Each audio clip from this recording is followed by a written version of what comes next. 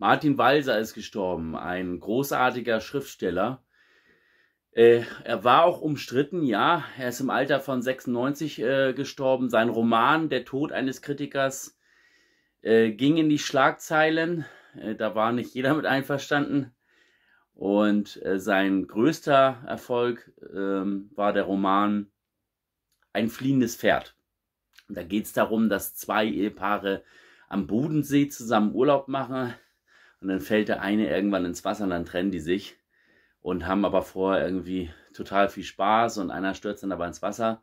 Der Klaus, genau, der hieß Klaus und äh, muss sich irgendwie retten. Keine Ahnung. Äh, taucht dann irgendwann wieder auf, aber dann reden die kein Wort mehr miteinander, weil ein Sturm aufzieht. Ich war selber schon am Bodensee, wunderschön, riesig großer See. Da kann man wirklich toll Urlaub machen. Wie es jetzt da ist, weiß ich nicht. Kann mir ja einer in die Kommentare schreiben. Abonniert mich, kommentiert mich.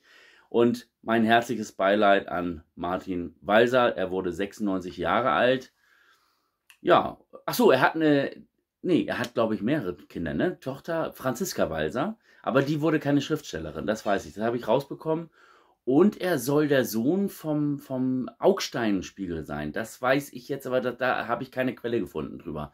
Das soll mal in den 70er Jahren so ein Skandal gewesen sein, dass er der Sohn vom vom alten Augstein-Spiegel, genau, war. Genau, ja, das ist es. Mein Beileid.